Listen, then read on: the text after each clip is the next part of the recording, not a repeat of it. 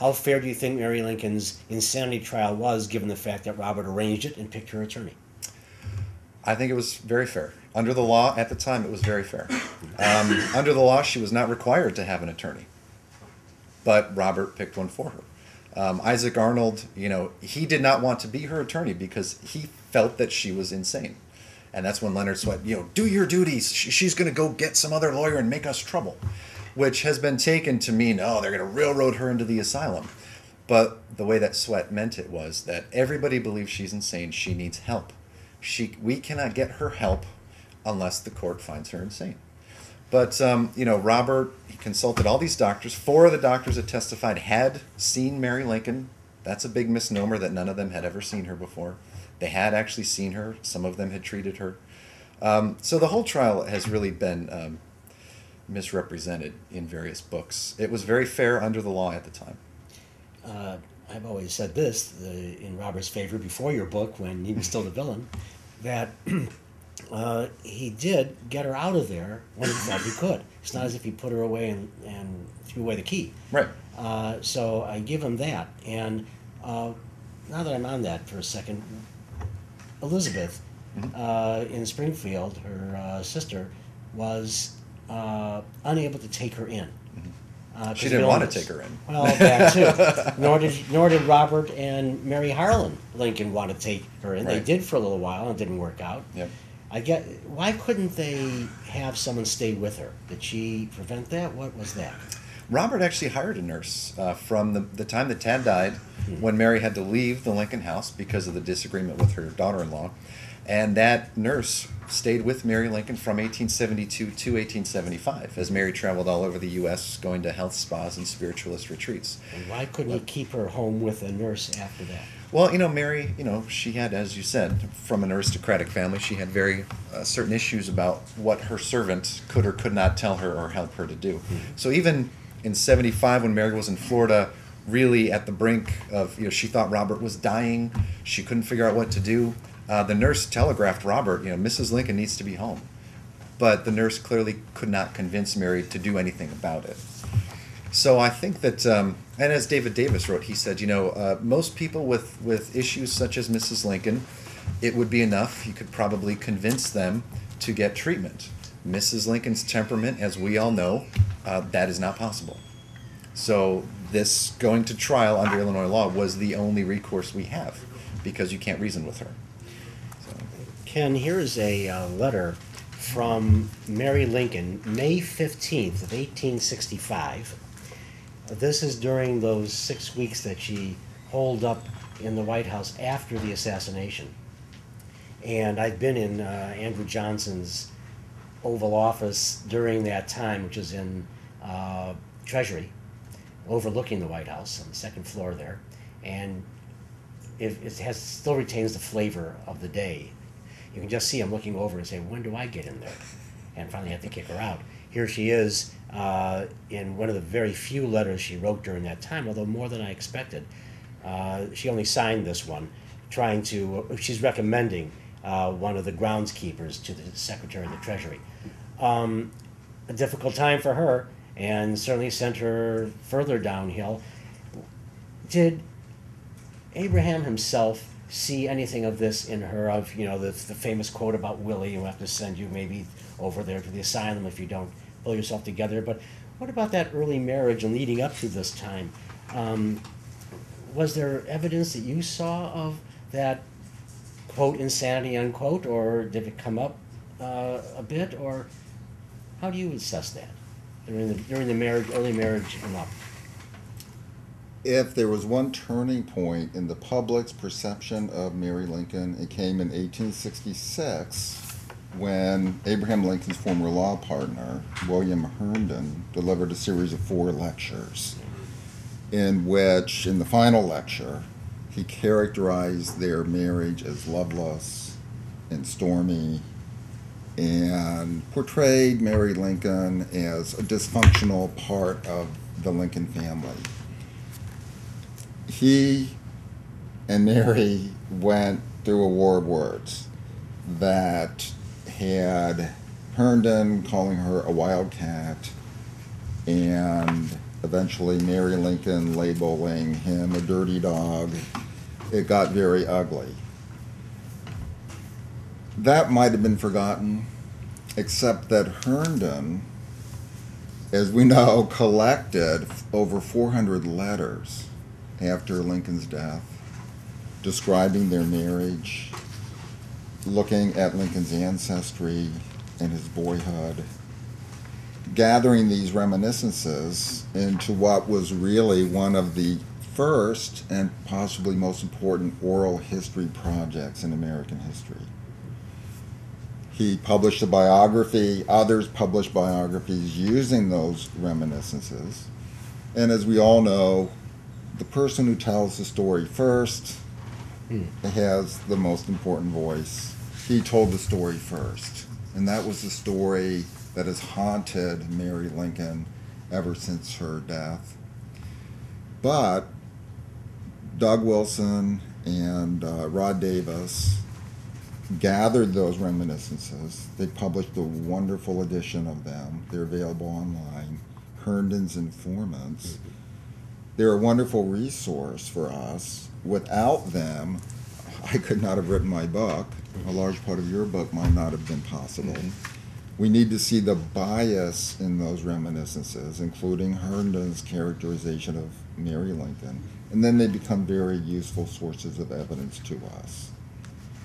We have reminiscences saying the opposite about Mary, the opposite extremes.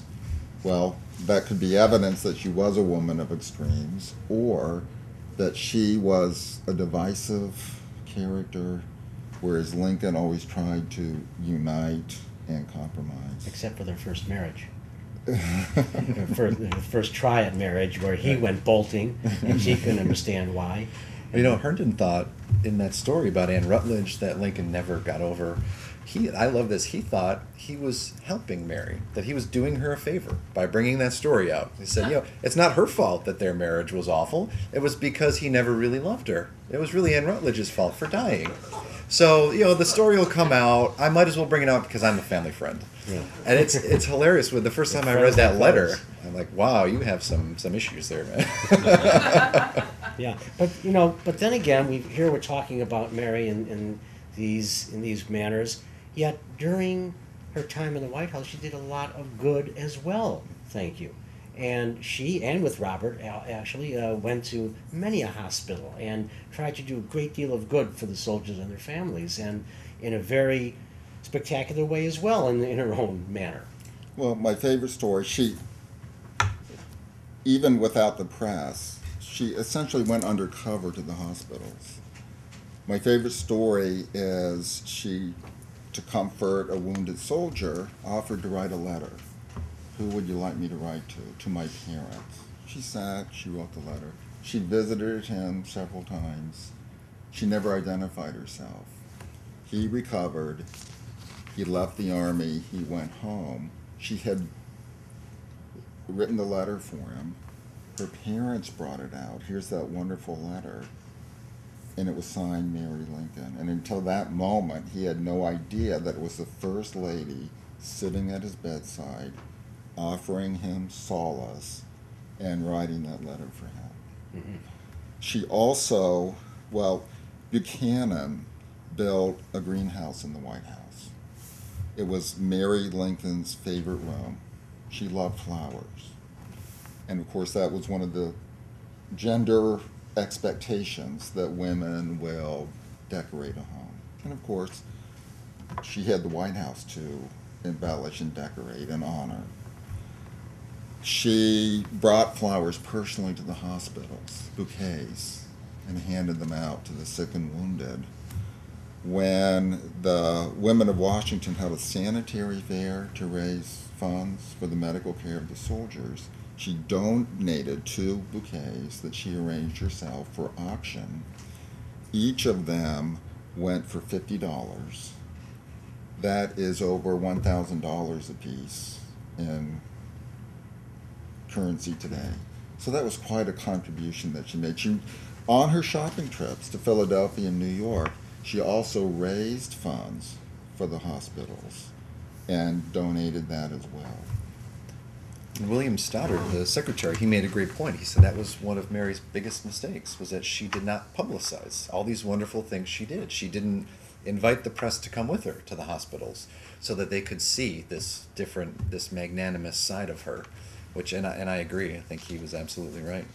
One, one of her servants was Elizabeth Keckley, her mm-hmm. seamstress, and born a slave, escaped slavery, raised a son who joined the Union Army and died for the war effort. Uh, they became close friends, confidants.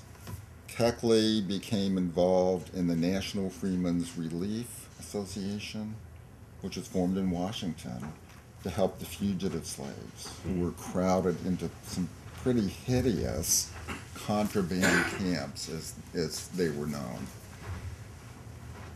Mary Lincoln surreptitiously helped Keckley raise funds for the fugitive slaves. There's a, a, a letter in which she writes to her husband, please send fifty dollars for the fugitive slaves. They are suffering. They need our help. He did. And again, that's over a thousand dollars in modern terms. This is about the inaugural address that was in the, uh, in the satchel, right, that uh, was given by Lincoln. He was his inaugural address, the original. And he put it into a satchel and on the train handed it to Robert and asked him to take care of it. Well, he didn't know what was inside and uh, put it behind uh, a counter. I'm telling your story.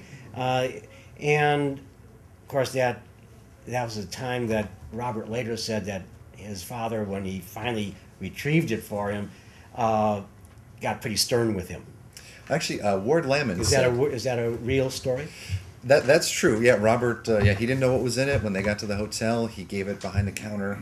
Uh, Lincoln couldn't find his son for I think it was like two hours because whenever every time they stopped, all the teenagers of the town would grab Robert and they'd ply him with wine and cigars and.